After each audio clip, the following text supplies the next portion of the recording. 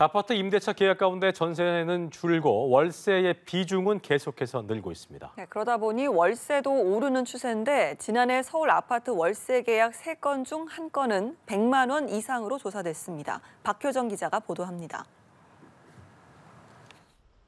지난해 임대차 계약 중 월세 거래 비중은 54.9%를 기록해 전년 대비 3.1%포인트 증가했습니다.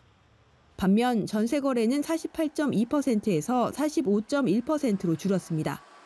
수도권을 중심으로 전세값이 오른 데다 고금리의 대출이자 부담이 커지면서 전세를 월세로 돌리는 비율이 늘어난 겁니다. 월세 계약이 늘다 보니 월 100만 원 넘는 고가 월세도 늘어 지난해 서울 아파트 월세 계약 중 100만 원 넘는 거래는 34.5%를 차지했습니다. 200만 원 넘는 월세도 11.2%로 조사됐습니다.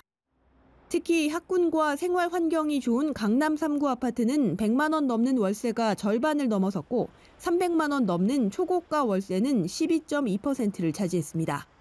노원과 도봉, 강북구 아파트 월세는 50만 원에서 100만 원 이하 월세 거래 비중이 53.9%로 전년의 48.5%에 비해 높아졌습니다.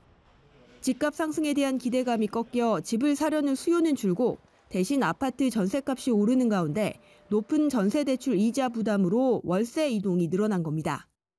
보증금을 올려주는 것보다 월세 전환 이율이 낮다면 월세를 선택하거나 이런 경우도 있을 수 있고요. 집값이 오르지 않게 되면 임대인의 입장에서도 월세를 놓는 게 유리하잖아요. 예. 자본이득을 기대하기 어려우니까. 고가 월세가 늘어나는 건 결국 주거비 부담이 커진다는 뜻이어서 월세 소득 공제 확대 등 맞춤 지원책이 필요하다는 지적입니다. 연합뉴스 TV 박규정입니다.